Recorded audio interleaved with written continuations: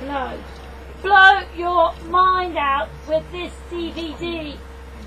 Johnny Depp as its finest. Basically, he's in, um, it's not like an autobiographic, no, not autobiographic, bi- biographic tale of um, George Stone, who was uh, basically drug, uh, real life choices to be made, no um, drug lord know, you just who got uh, he got into prison twice and then he was in prison until he was made an informant of others.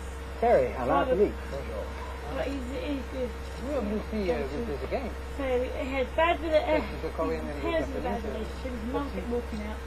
But it won't His work. father struggled to make ends meet. We can make it So he decided to move to California and he, as a mate, Terry doesn't like way you to make ends meet He's for got himself, he blotchy starts skin. selling drugs. What causes that He blotchiness? lives in, you know, It from must high mean something that's medical. drugs, so He'll have a stroke that. and someone will say, he was blotchy, but it happened. Yeah, but uh, Johnny Depp and Penelope Cruz are so gorgeous in this film. It's both of them are just Amazing. absolutely brilliant. I mean, this is the film to watch. That's it, really. Mark Susan, Jessica.